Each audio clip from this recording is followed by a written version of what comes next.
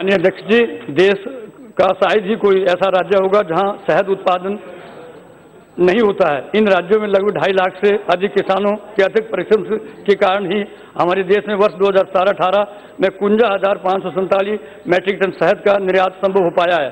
पिछले कुछ वर्षों से पड़ोसी देश चीन ने शहद बाज़ार में अपना वर्चस्व बनाए रखने के लिए नकली शहद के माध्यम से भारत के शहद बाज़ार में अपना हस्तक्षेप किया है। इस काम में भारत की नामी कंपनियाँ भी चीन की मदद से नकली शहद बाज़ार में बेच रही है। परिणाम स्वरूप भारत भारत के शहद उत्पादकों को अपने उत्पाद आधे मूल्य पर बेचने के लिए विवश होना पड़ रहा है। इस अप्रत्याशित स्थिति को अंकुश लगाने के लिए सरकार को तुरंत आवश्यक कदम उठाने चाहिए, क्योंकि देश की कुछ बड़ी कंपनियाँ शहद में सिर्फ़ मिलाकर देश देश में ही नहीं, अन्य देशों को भी निर्यात कर रही हैं। सिर्फ़ चालीस से बतालीस रुपए किलो भाव से खरीद कर शहर में मिलाया जाता है। देश में जो कंपनियाँ सिर्फ़ की सप्लाई करती हैं वो बिना बिल से, क्योंकि उन पर अड़तालीस परसेंट जीएसटी नहीं लगता।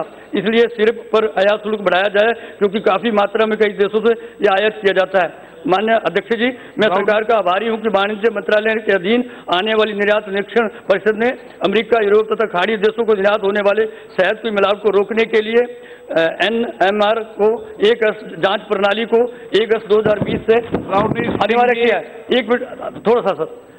किया है। जबकि इसे 1 अप्रैल 2020 से लागू किया जाना आवश्यक है क्योंकि अगस्त 2020 तक शहद का सीज़न ही समाप्त हो जाएगा और सारा शहद निर्यात हो जाएगा। अगर यह सरकार 1 अप्रैल को 1 अप्रैल 2020 को जाँच की पुख्ता प्रणाली लागू कर, करने का आदेश देती है तो देश के ईमानदार शहद उत्पादकों को मतमुखी पालकों को किसानों को उचित लाभ मिलेगा।